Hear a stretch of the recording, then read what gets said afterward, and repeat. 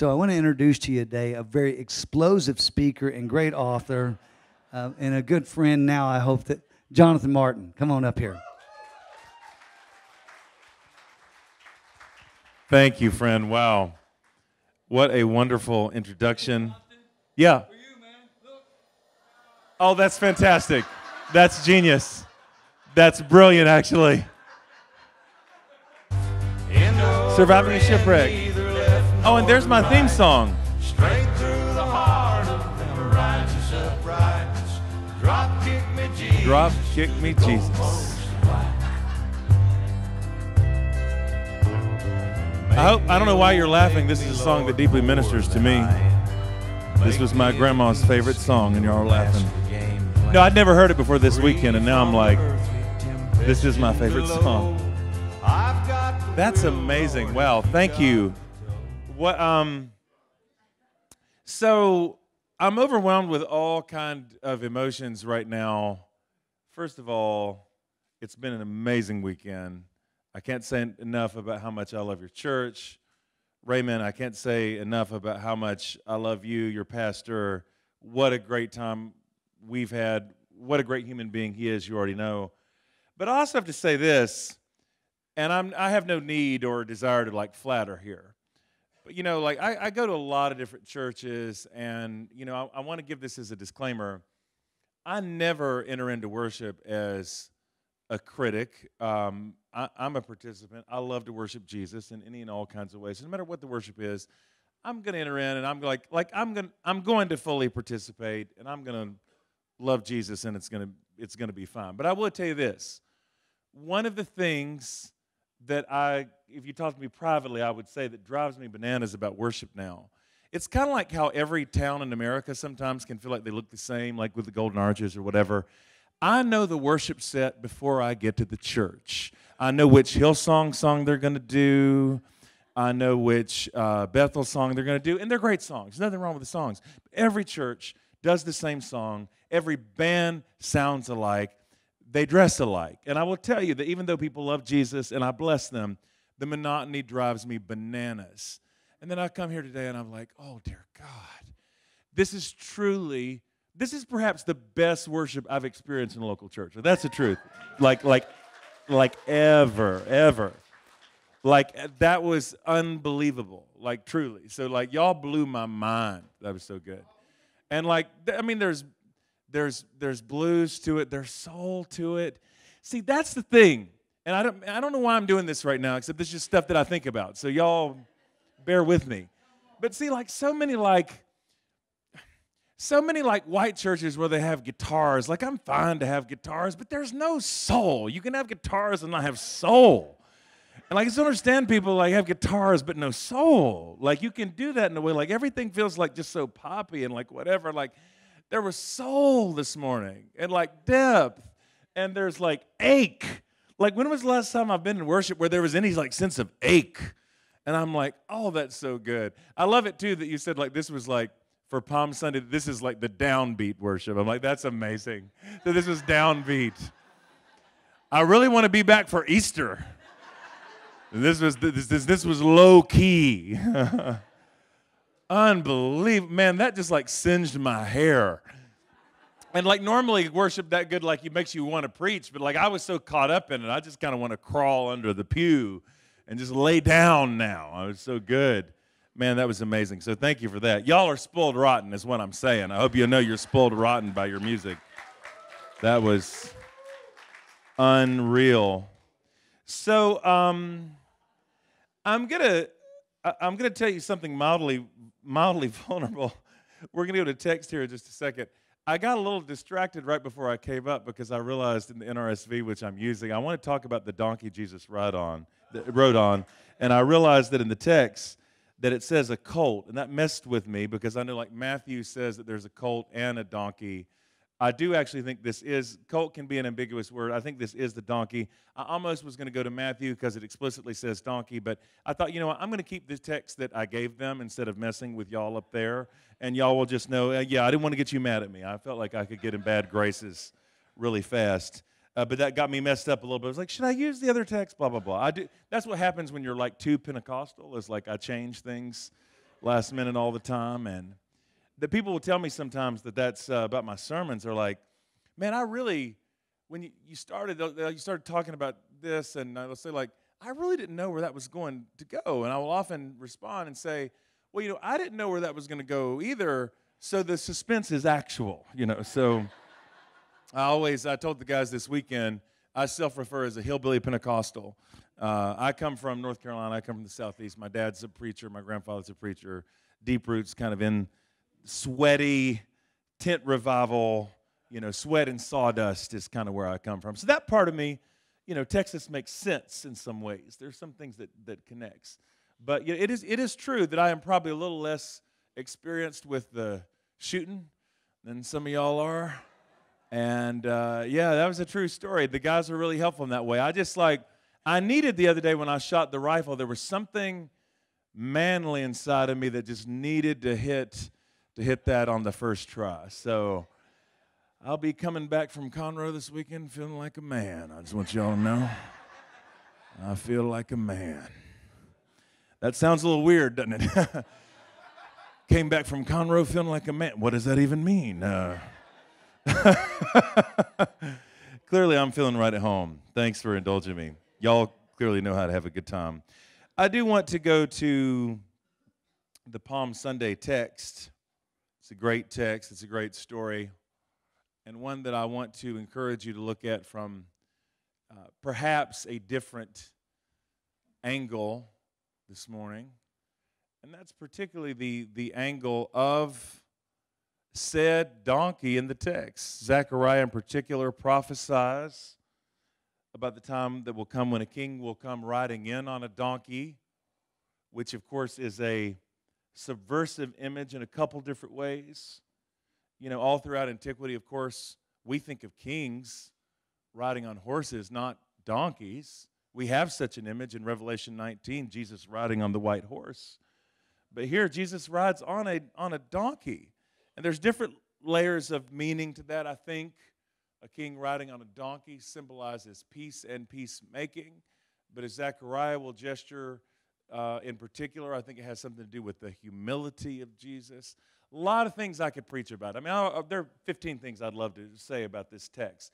But I'm not going to do any of that because I want to specifically focus on this particular beast of burden, this donkey in the text. Let's, uh, let's pray just one more time before we dive in. God, I am so grateful for the gift of my new friends here. And I do feel like that. I feel like I've made new friends. This already feels like family.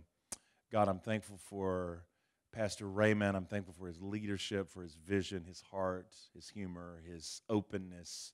There's an authenticity in this room, and there's, there's something that's just genuine and real um, that I find so rare. Um, sometimes when I travel. So, God, I'm just grateful for that. I'm grateful for what feels like a real move of the Spirit among real people here. Thank you for that, Lord. Thank you for the gift of this community, for the way that we experience you through the gift of each other. But now, God, we just come to that time where by your Spirit we want to experience you through your word. So I just ask that you would now address us, that you would speak to us, that you would just uh, put our hearts in a posture now where we would be able to receive your word and wherever, in whatever form we most need to hear it. And I do pray that in that way that only your spirit can do, that you would allow this to become a, a tailored, very specific word for each of your daughters and each of your sons who are here. Uh, for truly, we need to hear a word, and we come, we are listening. We ask all of this in the name of the Father, the Son, the Holy Spirit. And everybody said, Amen. Let's go right to the text. Luke 19, beginning with verse 28.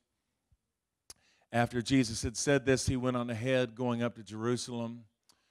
When he had come near Bethphage and Bethany at the place called the Mount of Olives, he sent two of the disciples, saying, Go into the village ahead of you, and as you enter it, you will find there a colt. And because, you know, when there's a text like this, for whatever the reason, I want to go very King James on you guys. You will find there an ass that has never been ridden. Always loved those things when I was in Sunday school. Untie it and bring it to me. Bring it here. And if anyone asks you, Why are you untying it? just say this The Lord needs it. And I've taken that from my title this morning. I love this simple phrase The Lord needs it. So those who were sent departed and found it as he had told them. As they were untying the colt, its owners asked them, as you do when someone comes along and they begin to untie your colt. That's just that just hit me funny in a way that had not before. Like, uh, uh, go and get this car. And uh, like, could you imagine this, Dell? The owner's like, "Why are you doing this?" The owners, uh, they do ask the question Jesus said they would ask Why are you untying the colt? They said the Lord needs it. Then they brought it to Jesus, and after throwing their cloaks on the colt, they set Jesus on it. And as he rode along, people kept spreading their cloaks on the road. As he was now approaching the path down from the Mount of Olives, the whole multitude of the disciples began to praise God joyfully with a loud voice for all the deeds of power that they had seen, saying, Blessed is the King who comes in the name of the Lord peace in heaven and glory in the highest heaven. And some of the Pharisees in the crowd said to him, Teacher, order your disciples to stop. But he answered, I tell you, if these were silent, the stones would shout out. We know that this is a bittersweet text because um, the mob will do what mobs always do. They turn quickly. One week it's Hosanna, um, it's haunting to know that a week later this will turn to crucify him. There's so much going on in this text. But this morning, I'm just so, so captured in particular by this, this character of the donkey. And I was already thinking about the donkey, and I already wanted to preach about the donkey. I knew that's where I wanted to go. And then, in a way that felt very providential to me, and again, maybe because of my very Pentecostal roots, I can be too mystical about things. But as we were staying in um, Franklin, right? Is that the name of the town, Franklin? Less than five miles away from the tornado yesterday, by the way. We were very close to that. Um, there was a picture in the house that I loved. And I had to know the story behind this picture. And thankfully, Raymond called his friend, the owner of the house, now my new friend, and got the story behind this picture. I wanted to share it with you. Can we go to Can we go to that now? There's so there's this this beautiful picture of his daughter with um like so basically his um I'm sorry was it the niece? Am I saying this right? It's his niece. Okay, this is his niece, and she's with this beautiful white donkey and I just thought it was such a great picture. I mean, everything, I don't know. Um, I love the way she's looking at the donkey. I love the way she's kind of embracing the donkey. And there, to me, there's so much going on in that picture that you can understand without necessarily having to have words for. The way that a child looks at a donkey. You know, there's uh, the way that a child looks at anything, there's a kind of wonder and there's an enchantment and an animal is a is a friend. And you just see it there and you see the donkey just looks so happy. And it's a sweet picture. I love they had that they had it up in the house. So i had to know what is the story behind this donkey and i'm sorry to tell you that actually there's kind of a sad story behind the donkey here because as it turns out so his niece really did love the donkey. But um, the, the, the dad there, you know, like he, you know, basically had horses too, and there was a situation where the donkey started chasing the horses. Oh, I'm sorry, I'm sorry, started chasing the cows. I can't talk this morning. This, I've, I've, been, I've been up for a very long time and having a good time. Thank you. I need all the help I get this morning. So the donkey's chasing the cows, and it's kind of a deal and he didn't want to go to the trouble of building a fence, right? So the owner of the house, our friend, had said to his brother-in-law, "Hey, well, if you know, if you're not going to build a fence, then this is going to continue to be an issue. Why don't you just go down and, you know, because they do this up the road, why don't you just go and sell the donkey? So he says, so that's what I'm going to do. He decides to, to go out and he's going to sell the donkey. So when he gets down to where they trade the animals and he's going to sell the donkey, they say, okay, like, well, you can't, you can't actually sell the donkey unless you have a certificate of health. He says, well, what do I have to do to get a certificate of health? He said, well, you just have to go up the street, pay 30 bucks, they'll give you the certificate. He says, I'm not paying 30 bucks in order to get this certificate of health. So he decides, and man, I just, I, I feel like the Grinch right now, especially for any kids in the room. So he just decides, okay, I, and I'm not going to fool with this. I'm not going to pay 30 bucks. Decides to shoot the donkey in the head. I'm just kill, just kills the donkey. Does it tell? Does it tell the, the the daughter about it? Just kills the donkey. And uh, I'm sorry, what's that? Oh, niece, thank you for that. Um, so then, you know, the donkey's now in the freezer, just like meat. And she doesn't find out until she's actually hiking later that she, when she kind of sees the, you know, the carcass, that the donkey's gone. Of course, she's, of course, she's terribly sad, as any kid would be, because, you know, I mean, look at the picture here. You can see there's like a connection with the animal. And I just, what struck me so much about this story is that I just thought, just the difference in value there, right? Between like the way the little girl sees the donkey, and the donkey's a friend, and there's this kind of emotional connection. The, the, the way that, you know, like for an adult, for a man, for a guy who just says, like, oh, you know, I don't want to fool with this animal. Let's just kill it. Two very different ways of looking at the same animal. And I, I, that just feels especially relevant to me when I think about, I don't know, I mean, what an unlikely. Imagine being the donkey that Jesus decides to ride on, right? I mean, that's some kind of donkey, right? I mean, the, the, the, Jesus Christ, Jesus of Nazareth, King of Kings and Lord of Lords, is going to ride on you. Like, what, what a crazy part to play in the story. And uh, I'm thinking about it in particular this way this morning. Like, uh, if this doesn't sound too weird for y'all, like I do, I want to be that donkey that Jesus rides on. Like, I want to be the one who brings the king into the city. I want to be the vehicle. I want to be the instrument through which Christ uh, brings his love and his mercy. Like, I want to be that kind of blessing, right? I mean, I think all of us would aspire to do that. But I also know that um, as it is like in this little story, I just think, you know, man, a, a donkey's a donkey. And all of us, depending on where we live and where we come from, may have a very different understanding of our own worth or the worth that's been assigned to us. Um, the way that others see us, the way that we may see ourselves, so different than the way that Jesus looks at us. And not to get too preachy with this text, but one of the things I love most about it is that the first thing that Jesus says, you know, about this donkey, when you find it, that you've got to untie it. Find a colt that's never been ridden and untie it. So many of us who've never been tamed, wild, undomesticated, and I think for those of us who are a little bit on the wilder side, for those of us who are not easily tamed, for those of us who are not easily broken, you can think that somehow this makes you less eligible to be used by God. But I'm telling you, the more you get to know about Jesus, and I think this bears out in the whole story of Scripture, by the way, God especially likes the wild ones. Am I telling the truth? The wilder you are, this has always been true. This has always been true.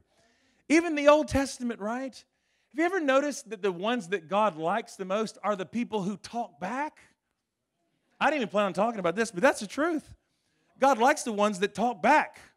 People like Moses, people like Job, that's that very Hebrew way, the people who, cont- who kind of contest with God. At the very end of Job, there's a verse I really love where God says that Job, unlike his friends, has spoken rightly of him. Well, that's funny because earlier God just corrected Job's theology and said that Job was wrong. He doesn't mean that Job's theology was right. When you really study the text, what he says, what he's really saying is not so much that Job spoke right, spoke rightly of him, but that Job spoke right to him. That's what God loves so much about Job, that he got in his face, that he talked back, that he, he went mono and mono with God. There was a wildness there. There was a wild streak that was there. The wild streak is something, that undomesticated streak is something God actually likes and wants. And yet, when God comes to us, so many of us, all of us really, in some form or another, He comes to us and we're tied up. Tied up with any and all sorts of things. And everybody's tied up with something. It can be a addiction, it can be alcoholism, it can be drugs, it can be one of the conventional things, but there's so many other things to be tied up with. I think especially for those of us who, and I know uh, in Texas, as it is for some somebody like me, a North Carolina boy, many of us are actually quite tied up, ironically, by religion. Religion can bind us up. Religion can be oppressive and constricting. And it's like Jesus says to the Pharisees one time when you make converts, you make them twice the sons, you make them double the sons of hells that you are, right? Like re- religion can, can, can bind us, bitterness can bind us, rage, unforgiveness. There's so many things that can bind us. And yet Jesus comes along to those of us who are wild, to those of us who are undomesticated, and says, Loose it, loose the animal. And why? Why? Why? Because he anticipates the question. He knows the question is going to come Why are you doing this? And I want you to hear this through a different lens, not just kind of like in, I don't know, like, uh, don't, don't just hear the question as like, Why are you doing this? Hear the edge to it. Why are you doing this? Why that person? Why this unimpressive donkey? Why this ass when you could have a horse? Why this animal? Why? Why? God knows people have surely said that about us. Why on earth would God fool with somebody like that? And not only have people said it about us, if you're anything like me, I've looked in the mirror and ask it about a million times. And I've done it many times since being called to ministry. Why on earth? Why, God? Why? Why would you choose me? Why? Knowing all the things that I know about me, how on earth, how on earth could you possibly choose me? Why are you doing this? And yet I love the response that Jesus gives. He says, When they ask you, why are you doing this? Just say this The master needs it. Isn't that beautiful? The master needs it. Man, I love that phrase, which I guess means we need to think for a minute about the word need.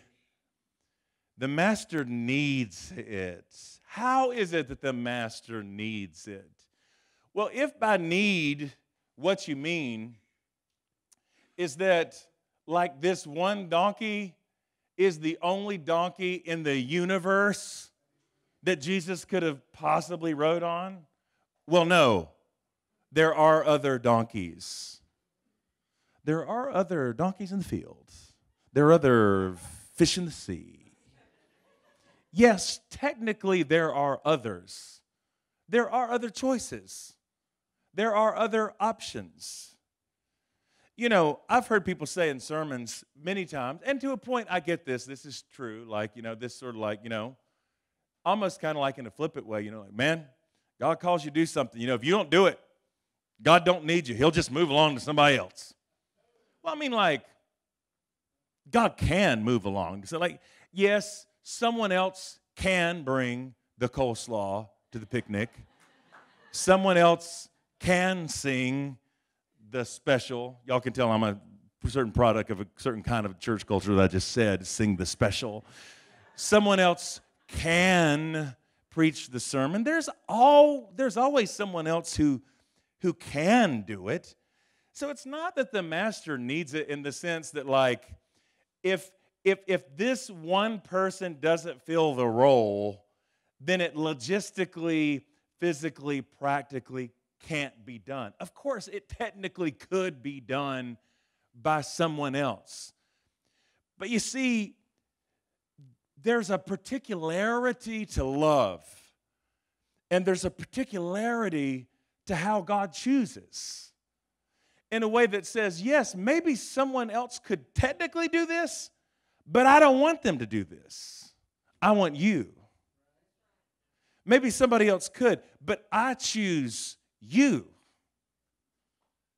I mean, you know, for those of us who know what it is to really be in love, I'm at a place right now and where there's a lot of things in my life that are green and hopeful and a lot of grace and I am in love and I am thankful for that. And like you know when you're in love like could you be in love with somebody else? Oh, why why why yes, I could love someone else. Just plug someone else into the formula. Like who talks like that? If you talk like that, you most certainly are not in love. Well, you know, people are interchangeable, and technically, you probably could meet someone else and have the same sort of chemical attraction. Run from that person. You ever go on a date with somebody like that, like just like, like get the check right now? I mean, why don't we just go ahead and settle for a companionship? I mean, that, come on, like that's not that, that's not how love works. Because there's a heart thing that says, I won't settle for anybody other than you.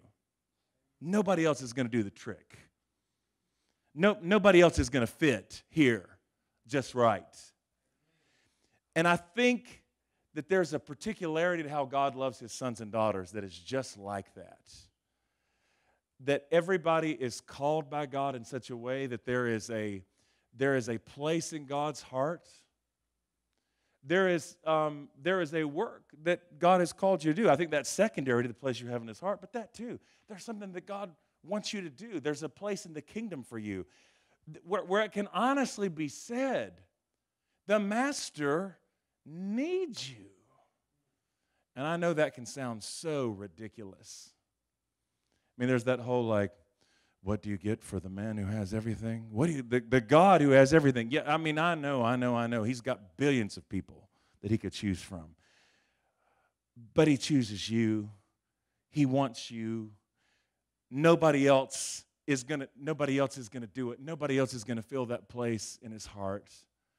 And I just feel like this morning that somebody, somebody in particular really needs to hear that word